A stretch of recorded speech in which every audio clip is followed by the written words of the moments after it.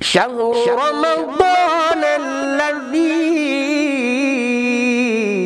أنزل فيه القرآن Rəhman və Rəhim olan Allahın adı ilə. Əziz və dəyərli izləyicilərimiz, sizləri Rəhmət Ayı proqramında xoş gördük. Əziz izləyicilər, Qurani Kərim dinləyək. شهر رمضان. أعوذ بالله من الشيطان الرجيم. بسم الله الرحمن الرحيم.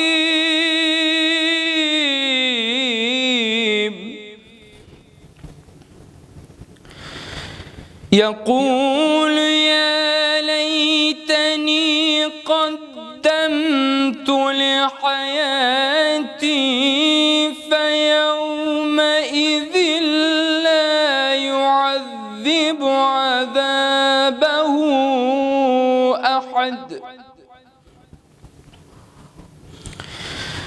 ولا يوثق وثاقه أحد.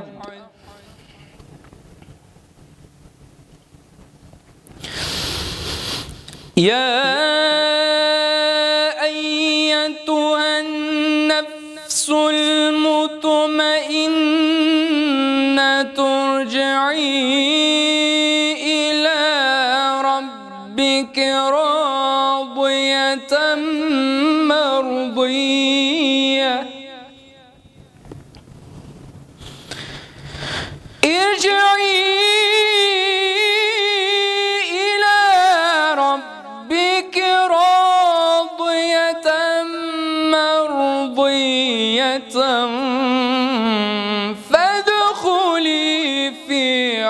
عبادي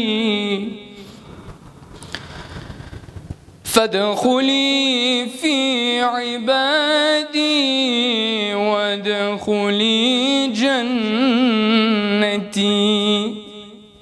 صدق الله العلي العظيم Bugünkü qonağımız ilahiyyatçı Hacı Xan Mirzə Hüseynovdur. Hacı xoş gəlmisiniz. Çox sağ olun. Hər şeydən öncə verilişə dəvət elədiyinizə görə təşəkkürümü bildirirəm. Və Allahdan arzum budur ki, Allah Taala öz lütf və bərəkətinə əsasən verilişinizə öz bərəkətini nazil eləsin. Təşəkkür edirik Hacı, çox sağ olun. Siz də təklifimizi bu e, qəbul etdiyiniz üçün sizə minnətdarlığımızı bildiririk. Hacı, keçək inşallah mövzumuza. İlahi rəhmət. İlahi rəhmət deyəndə nə başa düşürük bu barədə bizə e, izahat verərsiniz, bir izah verərsiniz inşallah.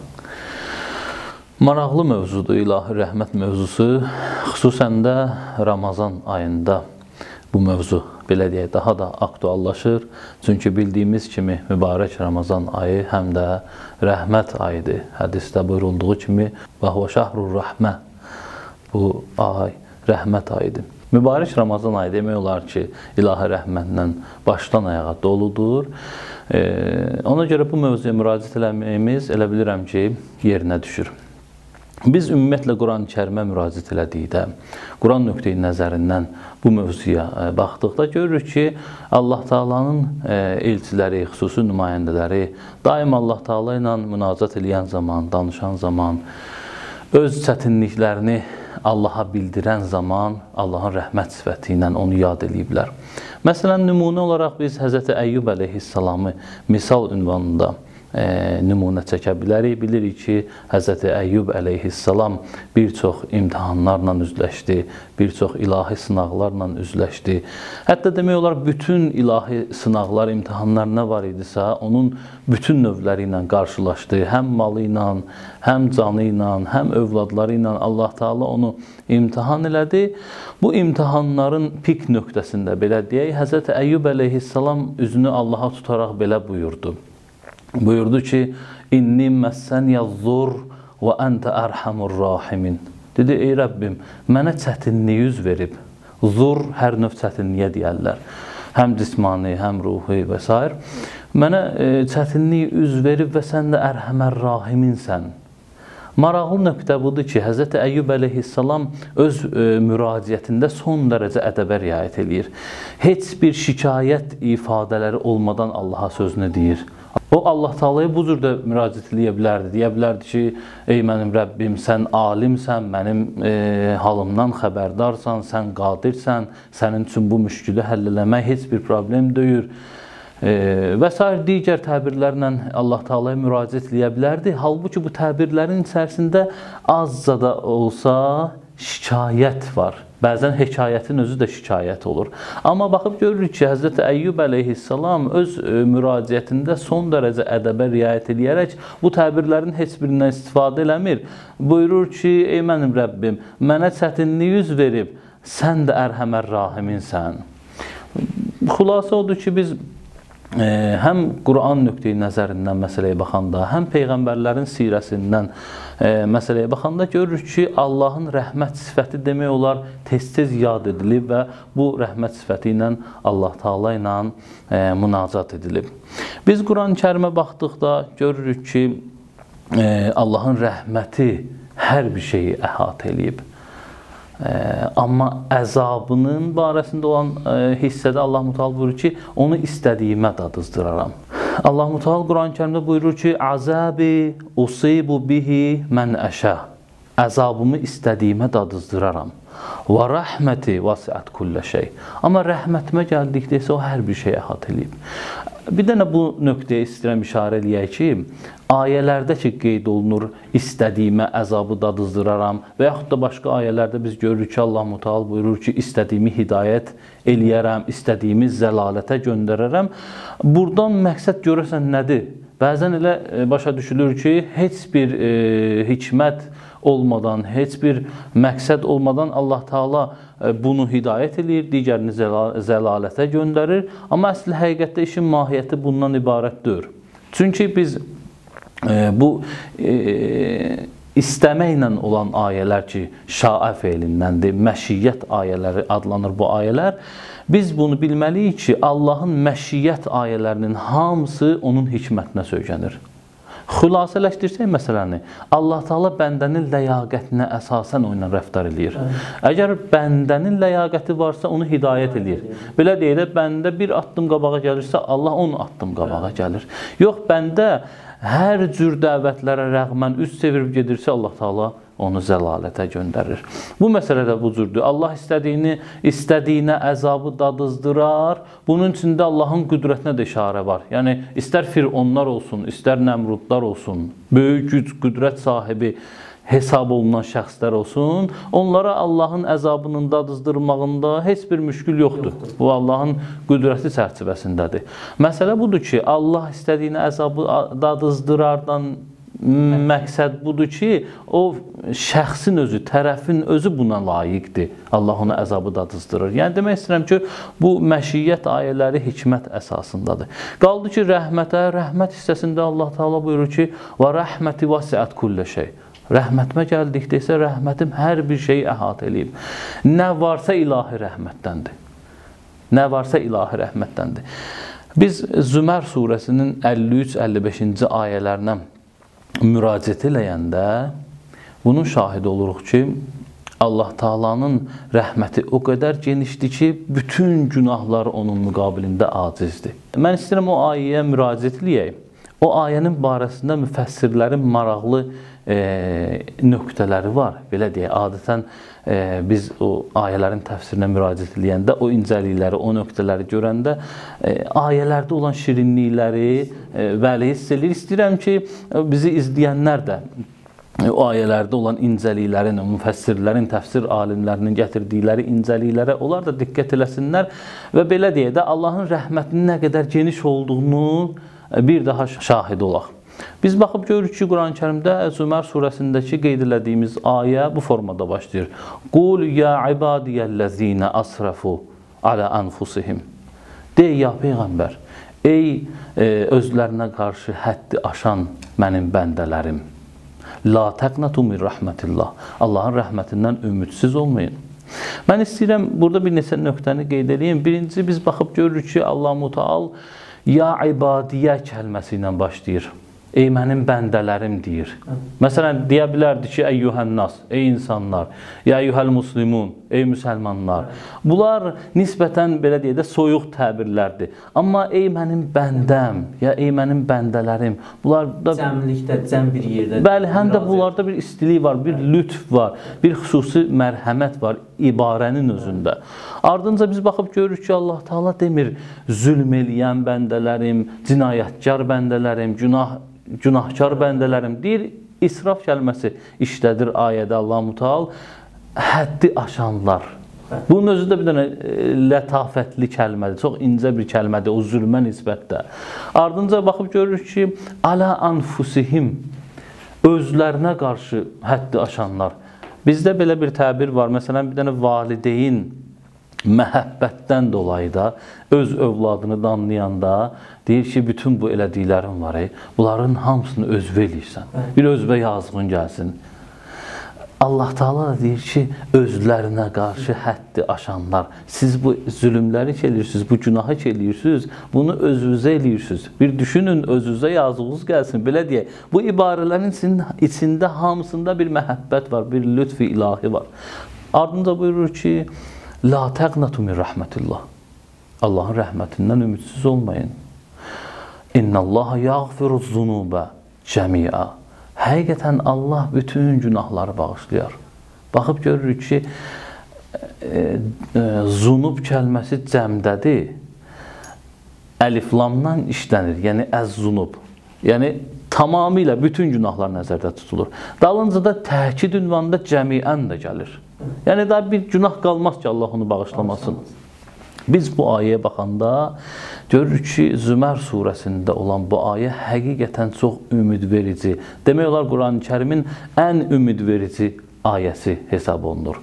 Bu barədə Mövla-i Müttəqiyan Əmir əl-Müminin əleyhissalamın bir hədisi var. Mövla buyurur ki, Qurani Kərimin həmən bu Zümər surəsi, Zümər surəsinin bu ayəsi ki var, ya ibadiyəl-ləzinə əsrəfu alə ənfusihim bu ayəsindən daha ümidverici bir ayə yoxdur Quran-Kərimdə. Əlbəttə Mövlanın bu sözü də əsassız deyil. E, dediyimiz incəliklər, dediyimiz mətləblər ki var bu ayədə Allah Taala'nın xüsusi xitabı e, və o xitabın içərisində xüsusi seçilmiş ibarələr bir daha onu göstərir ki, həqiqətən bu ayə e, doğrudan da Quran-Kərimin ən ümidverici Ayə. ayəsidir. Təşəkkür edirəm Kərbəlayı, Allah razı olsun. İnşallah ikinci sualımız. Bildiyimiz kimi Allahın rəhmətinə əsasən bütün günahlar bağışlanır. Yəni bunu e, hər kəs bilir də bu günahkar bəndə əlini açsa Allahın dərgahına rəhmətindən istəsə inşallah ki Allah onun günahlarını bağışlar. Belə bir sual çıxır ortaya ki, şirk də buna aiddir. Yəni bu bağışlanmağa aiddir. Yəni bunun barədə bizə məlumat verirsiniz zəhmət olmasa.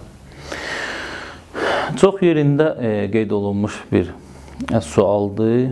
Belə ki biz Qurani Kərimin Nisa surəsinə müraciət edəndə görürük ki, Allah Taala buyurur ki: "İnnallaha la yaghfiru an yushraka bih."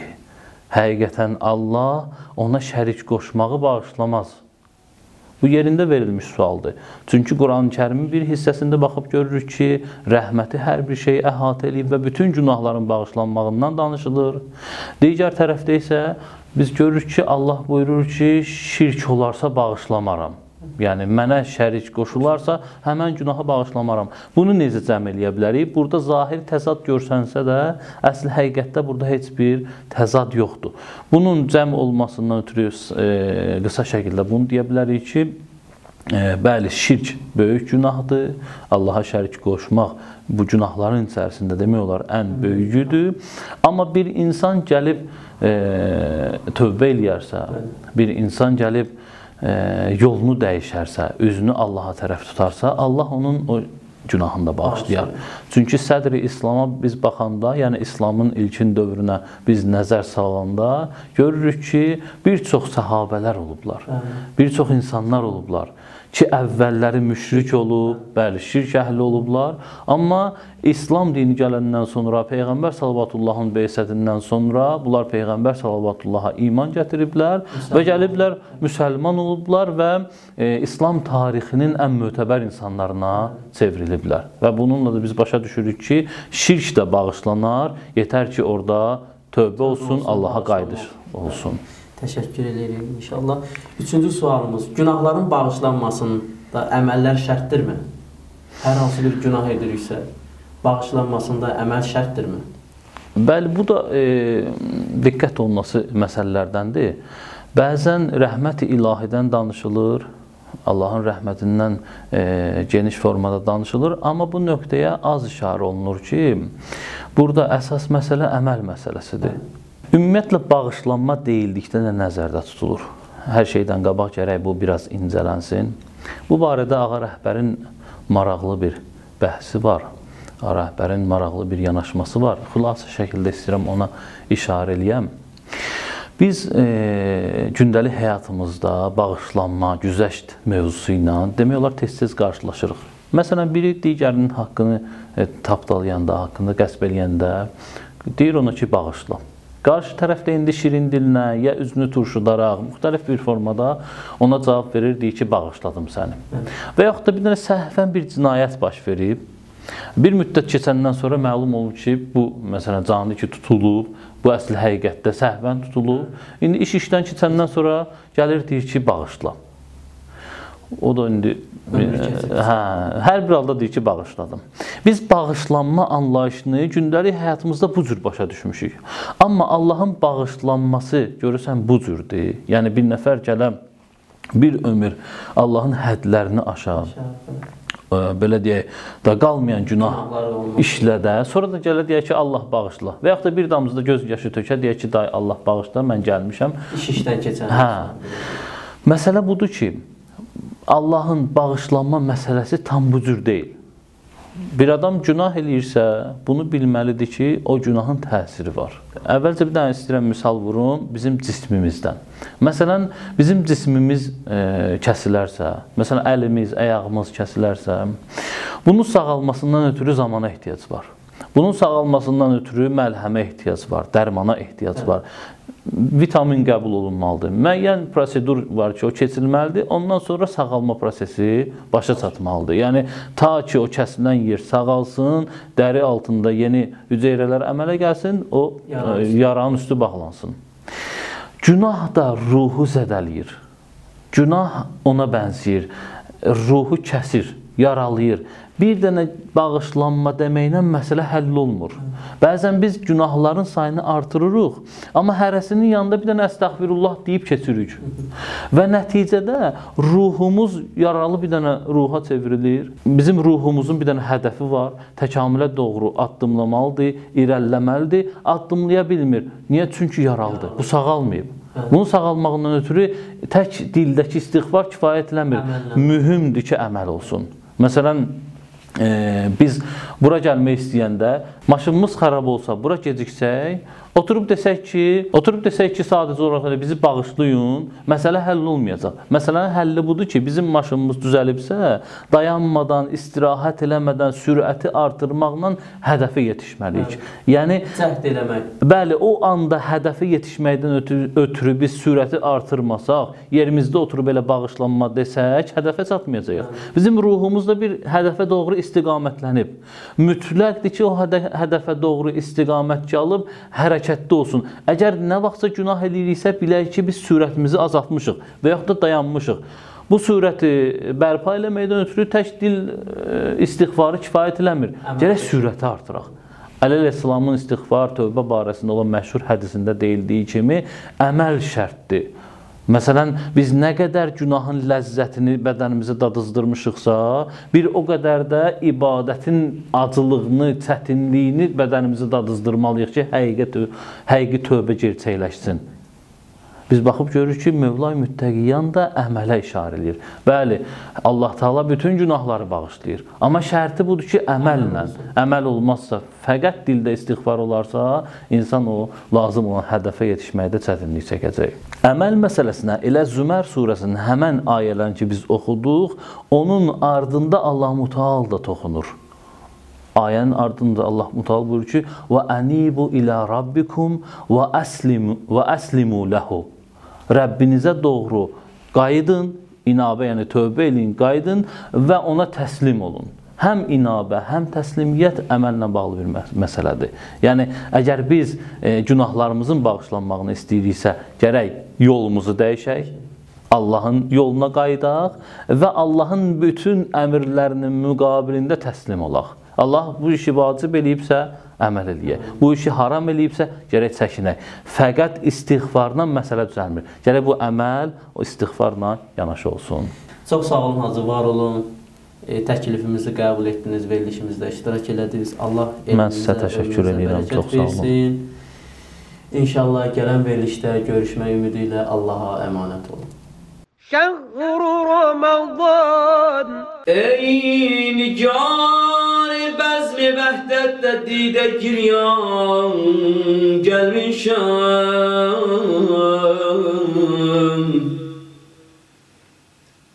Mah gıfrandır günahımdan peşiman gelmişim Çok çetin günler geçir sensiz Bu yorgundur ben de var Poşte serda koymuşam Veşetli duhan gelmişem. Sen veren pakize ruh öldürür. شام دست خالی بر شکست غرق سیام گرم شب گرم شب از زهر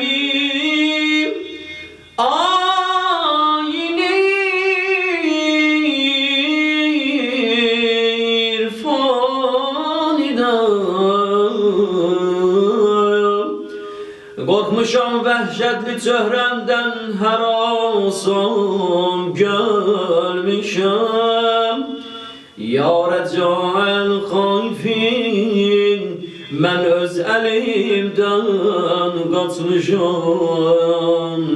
Sındırıb nuri Qur'an Qufli zindan gəlmişəm